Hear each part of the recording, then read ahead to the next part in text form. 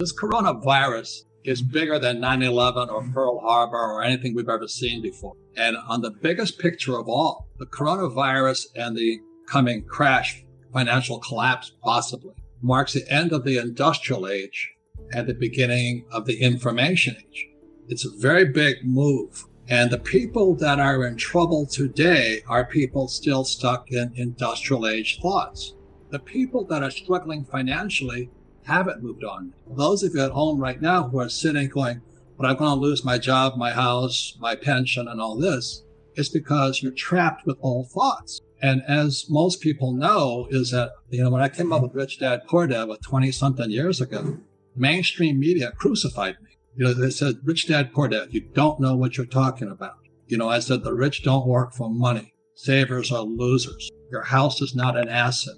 And I was crucified, just crucified. And the good news is the most important thing you can have right now is not job security, but meaningful work.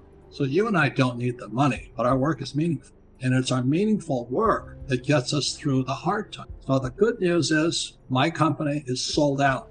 We cannot keep up with product. The bad news is the supply chain shut down, but that's a good problem. We have tons of cash. I have gold. I have silver. And I do have challenges in the real estate market, but that's going to make me stronger. That's my only attitude I can have. Otherwise, I just cry and say, well, the government should take care of me. I need a bailout. I need a stimulus. And stimulus means welfare for the rich. and I talk to young people, which drives the school teachers, I don't go back to schools anymore because I'm not politically correct. You know what I mean? So I, I, went back, you know, so when I would explain the Fed to them, I said, well, just think of Dorothy and the Wizard of Oz. You know, there was the Tin Man, there was a Straw Man, and there was a lion with no heart. And so they thought they could go see the wizard and the wizard would give them what they asked for. So they'd prance along the yellow brick road and they pulled back the curtain. It's a midget back there, this big illusion.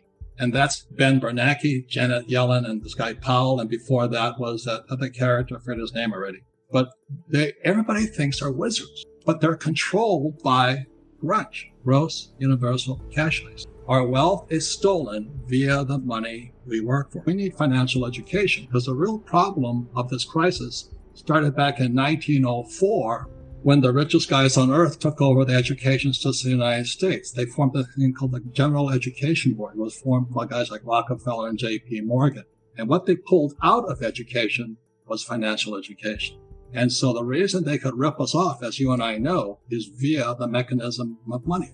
And that's why I wrote Rich Dad Poor Dad. It was a warning shot across the bow back in 1997. I said, wake up, something's coming down the road.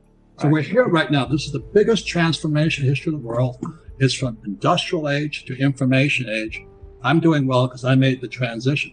I'm making more money than ever before. I have problems, but I'm making money, more money than ever before. But if you have it, if you're losing money right now, the problem starts in what you were taught in school because they never taught you anything about money. They never taught you about a financial statement like my rich dad did. They teach you that diploma is everything. It's a piece of toilet. BS. And you buy into that mechanism of money and you believe that that is the only thing to focus on. And what you're saying right now with these stimulus packages is all of this money being given, quote unquote, away by the government to everybody is actually devaluing your dollar. It's devaluing your pension. It's devaluing your savings and it's wiping out business. So you're dying by this sword.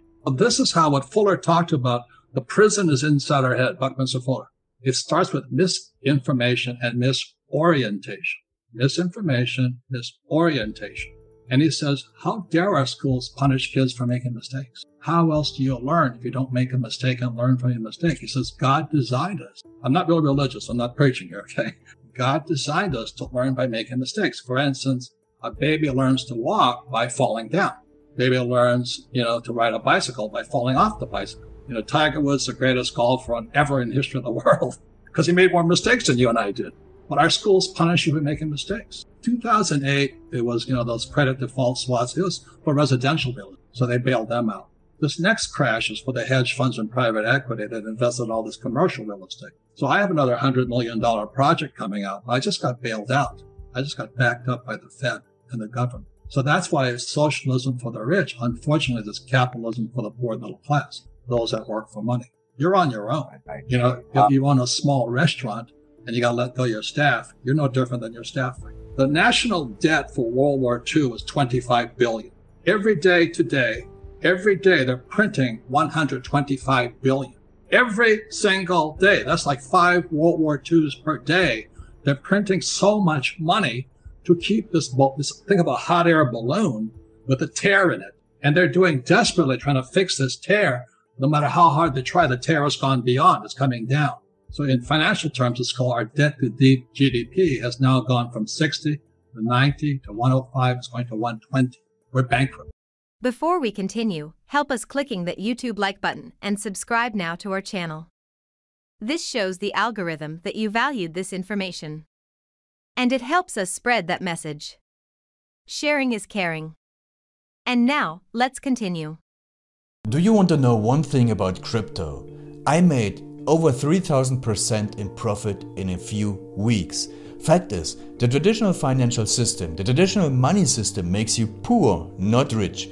If you want to earn 500,000, 1 million dollar, you have to wait until you're 50, 60, 70 in the traditional financial system and you probably will still be broke. And you will be old. This is not a sexy combination as you can imagine. But the question is, how can you start in crypto and make these profits? Where to invest? Where to start? My name is Gunnar and I'm from Germany as you can hear and things are a little bit different in Germany. More about that later on. Fact is, there are lots of different cryptocurrencies. It's a gigantic universe where beginners and professionals get easily lost. But there is light at the end of the tunnel. There are seven key steps you need to follow to become successful in this market. You have to know them, and if you fail one of them, it's literally impossible to succeed in this market. Just an example, one of the key points is your exchange, and one of the biggest are, for example, Binance and Coinbase. These are trusted and well established exchanges, but, and this is a big but, you won't find the super profitable coins on those exchanges. The unknown super profitable coins that get gigantic profits are not traded on those kind of exchanges. They are traded on much smaller insider platforms that are barely known. And I can tell you what those super secret exchanges are and why they are so profitable. And another super important thing are the right information sources. The point is, the internet is gigantic. There are hundreds and hundreds of YouTube channels, blogs, pages, and much, much more. And there are also market makers and influencers. For example, Elon Musk, he is not a crypto guy, but the moment he recommended Dogecoin, it went through the roof, to the moon, so to say. But why did he recommend it? Where did he hear it from? He didn't hear it from newspapers. And believe me, he is listening to someone. But you have to know who, and you have to react before he is reacting. This is really, really important. And these are only two of the seven steps you have to follow in order to be successful in crypto. And if you want to know all of these steps in much more detail, and if you want to have a comprehensive checklist, Here's what you should do. There is a link below this video. Click on this link and you will get the opportunity to subscribe to my channel. Click on the link and you will see a video where I explain the next steps. So see you soon. Click on the link now. I'll see you there.